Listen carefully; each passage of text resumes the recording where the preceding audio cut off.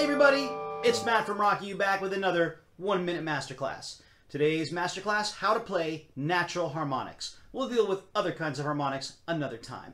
You can play a natural harmonic on any stringed instrument. On a guitar, you play it on the 5th fret, the 7th fret, or the 12th fret. And this is how you do it. Instead of holding the note down behind the fret, like pressing the string down behind the fret, so you're gonna touch the string without pressing it down directly above the fret, so this. You get a different sound, and it keeps keeps going even after you move your hands. So it's a cool thing to be able to do. That's it. Go out there, make some harmonics. We'll see you next week for a new one minute masterclass.